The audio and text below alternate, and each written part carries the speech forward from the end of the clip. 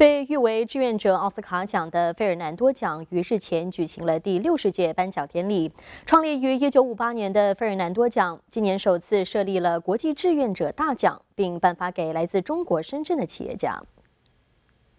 费尔南多奖由费尔南多基金会所颁发，该奖项是为了激励社区民众成为服务社会的长期志愿者，是全美国志愿服务的最高奖项之一。透过颁奖给曾帮助重建社区、促进不同族裔居民的友好合作、支持贫困家庭等长期服务于社区的知名志愿者，借以鼓励更多人投入社会服务行列。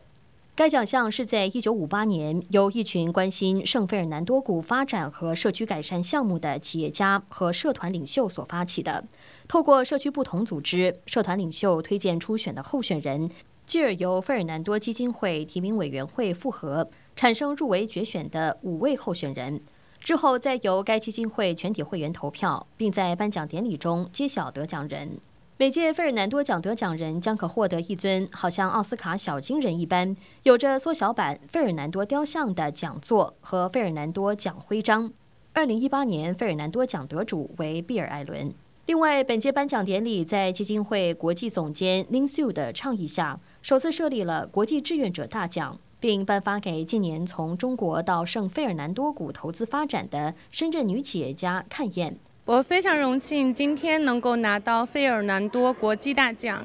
至今它已经有六十年的历史了。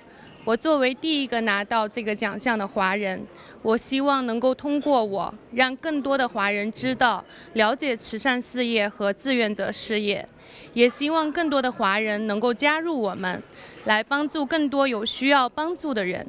在此，我感谢费尔南多慈善基金会对我的信任，也感谢我的提名人令，也感谢我的家人和朋友一直以来对我的支持。当晚，长期关注社区发展的美国商务部少数族裔经贸局南加分局首席执行官 Daniel Su 也到场观礼，并向得奖者恭贺致意。